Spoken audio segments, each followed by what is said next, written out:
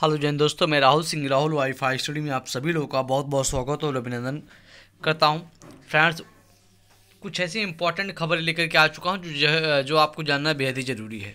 जैसा कि आप सभी लोगों ने थंबनेल को रीड किया होगा, देखा होगा। उत्तर प्रदेश के मुख्यमंत्री यह कहते नहीं, थकते हैं कि हमारी सरकार में निष्पक्षता और पूरी पारदर्शिता के साथ भर्तियाँ की जा रही हैं और समय के भीतर ये भर्तियाँ की जा रही हैं। आज कुछ इसी संबंध में और भी बयान आया है। आपने देखा होगा कल यूपी ट्रिपल एस भवन पर जब अभ्यर्थियों का एक जमावड़ा हुआ तो आयोग के अधिकारियों का क्या कुछ कहना था रिज़ल्ट को लेकर के? और ये किस प्रकार से कह रहे हैं कि हमारी समय में भर्तियाँ पूरी की जा रही हैं समय से? आप ही बताइए।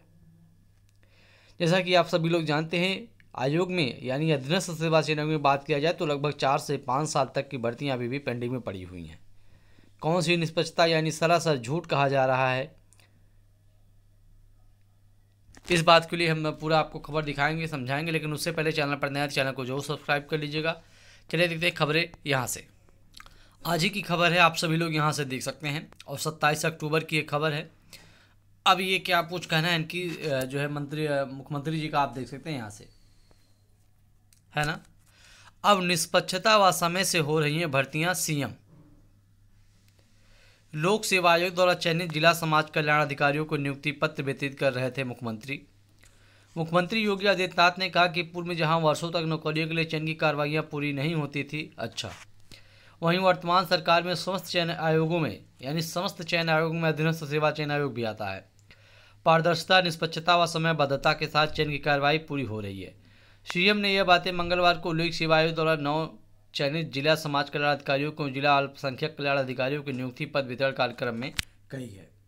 अब आप ही बताइए कि कितनी निष्पक्षता और कितनी समयबद्धता के साथ भर्तियाँ पूरी हो पा रही हैं। यह आप जानते हैं क्योंकि आप इस भर्ती परीक्षाओं की तैयारी करते हैं।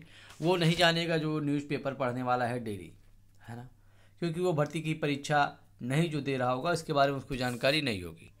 तो इस प्रकार से झूठ फैलाने का काम किया जा रहा है। आगे भी देख सकते हैं यहाँ से हम सभी लोग, जो इम्पोर्टेंट चीज़ है आप सभी लोगों के लिए, ये देख सकते हैं यहाँ से। चयन प्रक्रिया में शिकायत पर तुरंत कार्रवाइयाँ हो रही हैं यहाँ से, है ना?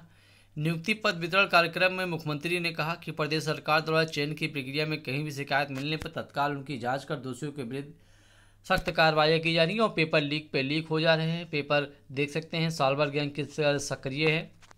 उन्होंने कहा कि वर्तमान राज्य सरकार मिशन रोज़गार कार्यक्रम के तहत पारदर्शी तरीके से प्रदेश में साढ़े चार, वर्ष में साढ़े चार लाख नौजवानों को सरकारी नौकरी प्रदान करने में सफल रही है।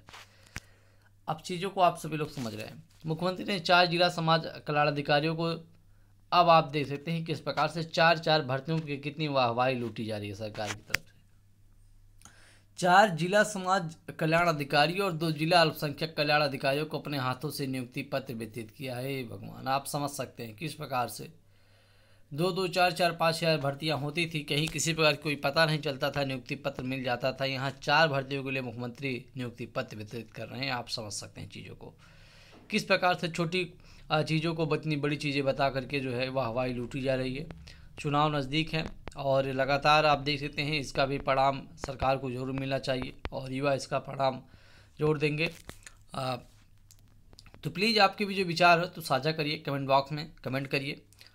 और खबर आप तक पहुँचाने की ज़रूरी थी कि आप सभी लोग जानते रहे चीज़ें क्या हो रही हैं आपके साथ। तो मिलते हैं नेक्स्ट वीडियो में नेक्स्ट अपडेट के साथ। तब तक धन्यवाद नमस्कार।